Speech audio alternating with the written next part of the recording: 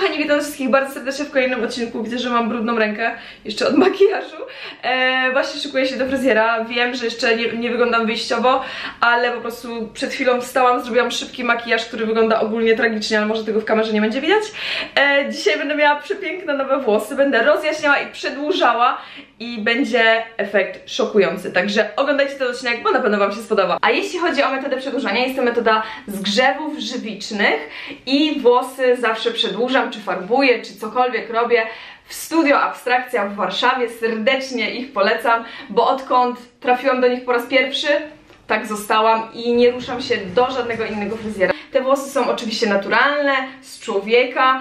Można w studio Abstrakcja też przyjść i sprzedać swoje włosy, na przykład jak macie długiego warkocza, to możecie przyjść i oczywiście otrzymacie za to należną zapłatę. I powiem Wam, że naprawdę moje włosy są w dobrej kondycji, bardzo szybko rosną, jak możecie zobaczyć na zdjęciach są dość długie, są cienkie, już od lat są cienkie, po prostu tak już mam genetycznie.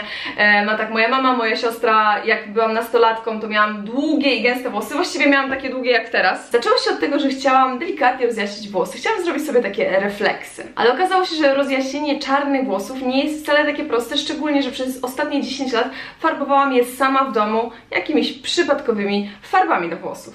Ale tak się składa, że od ponad dwóch lat chodzę do genialnych fryzjerów, którzy przedłużają moje włosy i teraz postanowiliśmy zrobić mega metamorfozę. No ta metamorfoza nie mogła być taka mega od razu, dlatego, że nie udałoby nam się rozjaśnić czarnych włosów do nie wiadomo jakich jasnych odcieni. Postanowiliśmy więc stopniowo rozjaśnić moje włosy, tak żeby ich nie uszkodzić. Używaliśmy do tego rozjaśniacza z Olaplexem i robiliśmy to naprawdę bardzo stopniowo, a cały ten proces do uzyskania takiego efektu jak teraz trwał chyba około roku, więc przechodziłam od czarnego, czarnego z brązem, czarnego z brązem i z blondem. A tak wyglądają moje włosy teraz po rozjaśnieniu już prawie całkowitym i oczywiście przedłużeniu ich włosami słowiańskimi. Dzięki temu, że rozjaśnialiśmy włosy delikatnymi pasemkami co 3 miesiące, moje włosy na tym nie ucierpiały. Dobra, sprawdzimy czy mają metr.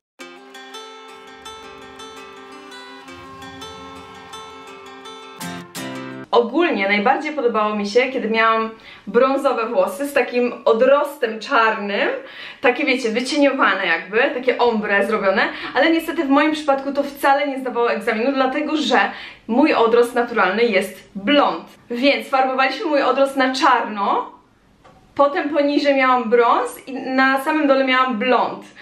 I to było super, super to wyglądało, ale niestety było niepraktyczne, bo za każdym razem, kiedy farbowaliśmy włosy tutaj, czarne, no to tutaj były brązowe i potem mi odrastały, więc te czarne się przesuwały i tutaj od razu odrastał blond, więc tej czerni znowu robiło się coraz więcej. No i znowu wróciłabym w końcu do czarnego koloru włosów, co było totalnie bez sensu, bo ja chciałam przecież rozjaśnić włosy, a nie znowu wracać do czerni.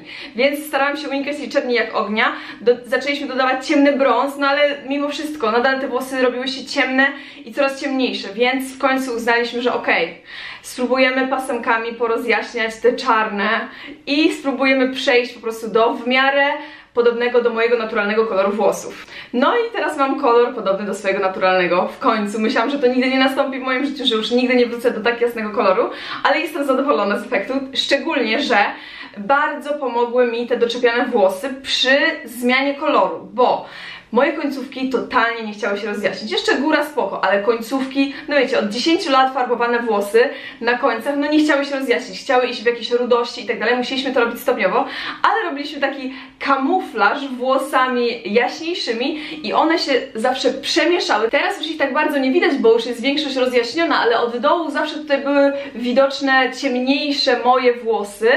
O, tu jest jakiś taki też ciemniejszy. E, I dzięki temu, że doczepialiśmy te jaśniejsze włosy, mogliśmy troszeczkę oszukać, że już mam tyle jasnych włosów. I wiem, że dużo osób z Was krytykuje mój aktualny kolor włosów, z tym, że, no tak jak już wspomniałam w innym odcinku, ja to robię dla siebie i jeżeli mi się podoba, to znaczy, że jest ok, bo to ja mam się czuć dobrze ze sobą, a nie ze mną. E, I myślę, że to jest kwestia przyzwyczajenia, bo ludzie nie lubią zmian, ludzie są przyzwyczajeni do jakiegoś tam wizerunku i jak ktoś coś zmienia w swoim wyglądzie, to zaraz jest krytyka, zaraz jest ocenianie i tak dalej. Ja to rozumiem, nie mam o to pretensji, wszystko jest ok. I moi drodzy, jeżeli chcecie, tak jak ja, przejść z czarnego koloru do tak jasnego, jak ja mam teraz, to proszę Was, róbcie to stopniowo i nie róbcie tego samodzielnie, bo naprawdę możecie sobie zniszczyć włosy. A zniszczyć sobie włosy jest bardzo łatwo gorzej z ich odbudowaniem.